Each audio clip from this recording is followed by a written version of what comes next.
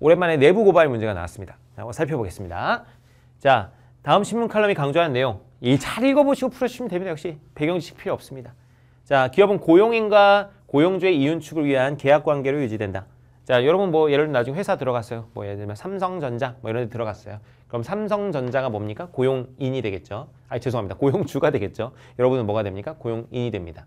자, 이런 결속력은 이윤 창출을 위해 생길 뿐이다. 자, 고용주는 고용인의 충성까지 구매할 수는 없다. 그래서 사회 정의를 해치는 기업. 자, 기업이 근데 내, 가 이제 고용된 기업이 막 이상한 짓을 하는 거야. 뭐 예를 들면 노조 파괴 같은 걸 한다든가 환경 오염 같은 걸 시킨다든가 뭐 이런 거를 하게 될 때 사회에 알리는 것은 뭐다? 정당하다. 이런 걸 뭐라고 한다고요? 내부 고발이라고 한다고 내부 고발. 또한 사회는 고용인에게 고용된 사람에게 기업의 불법행위나 부도덕한 행위를 외부에 적극 알려야 될 의무를 요구할 수 있다. 내부 고발을 요구할 수 있다는 겁니다. 특정 조직에 속한 개인인 동시에 정의롭고 행복하게 유지돼야 될 사회 공동체의 구성원이기 때문이다. 제가 내가 어떤 기업에 내가 구성원이라고 하더라도 그러, 그거 플러스 나는 이 대한민국이라는 사회의 구성원이기 때문에 대한민국 사회를 위해서 어떤 기업의 잘못된 걸 고발할 수 있다. 이런 얘기죠. 갑니다. 1번 고용주는 기업을 사익 추구의 수단으로 간주해서는 안 된다. 뭐, 뭐 위 내용과 전혀 관련이 없습니다. 그죠?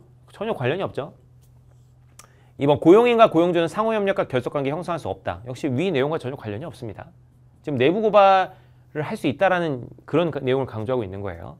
한번 고용인은 고용주에 대한 신의를 어떠한 경우에도 지켜야 된다. 아니 어, 어떠한 경우에는 내부 고발할 수도 있다고 얘기하잖아요. 사회를 위해서. 그래서 어떠한 경우에도 지키는 것은 아닙니다. 4번 조직, 조직에 충성하기를 포기한 고용인은 그 조직에서 떠나야 된다. 지금 내부 고발한 사람 떠나라고 하는 겁니까?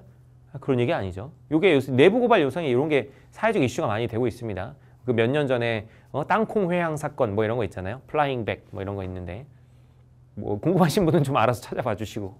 자, 5번. 고용에는 조직에 대한 책무와 함께 그렇죠. 조직에 대한 어떤 고용에 대한 책무는 당연히 발생하지만 내가 또 대한민국 국민으로서의 책무가 있지 않습니까? 시민의 의무를 다해야 된다. 정답은 그래서 5번이 되겠습니다.